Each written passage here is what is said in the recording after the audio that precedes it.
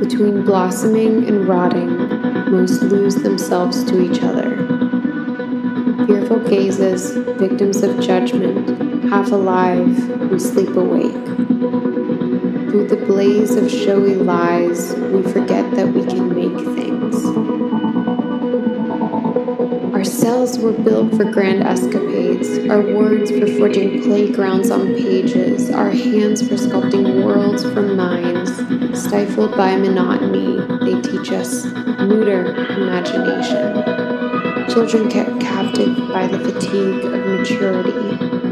We forget that we can make things. We feel more than we show. We forget that we can make things. It's only when making that we really grow.